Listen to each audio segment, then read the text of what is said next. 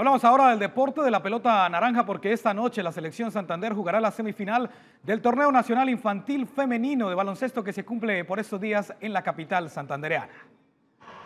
Bucaramanga recibió la sede del certamen nacional preselectivo a la selección Colombia que representará al país en el sudamericano de Popayán a cumplirse en noviembre. Las hormigueras han hecho respetar su casa y anoche en duelo difícil vencieron a Cundinamarca y se instalaron en la semifinal. Una categoría sub-14 eh, las niñas todavía están en formación, salen muchos altibajos y pues sacamos un poquitico la casta de esa santanderiana, la fuerza, la berraquera y sacamos adelante el juego. Estuvo muy apretado, pues dimos todo lo que pudimos y gracias a Dios llegamos a cuartos y espero que podamos llegar a la final y ganar. Para avanzar a la semifinal, las hormigueras vencieron a Boyacá, Casanare y Meta, perdieron con Atlántico y derrotaron a Cundinamarca lo que las hace soñar con el título del Nacional en la categoría sub-14.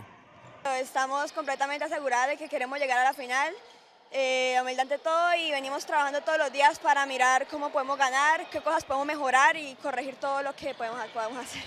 Desde el inicio, las niñas y nosotros, el coach, tiene la mentalidad de que ser campeones y dejar el título aquí en el departamento. Es así que el Maderamen del Vicente Díaz Romero recibirá hoy a partir de las 5 de la tarde a Valle del Cauca y Atlántico en la primera semifinal, mientras que a las 7 de la noche Santander se medirá a Bogotá por el cupo a la final.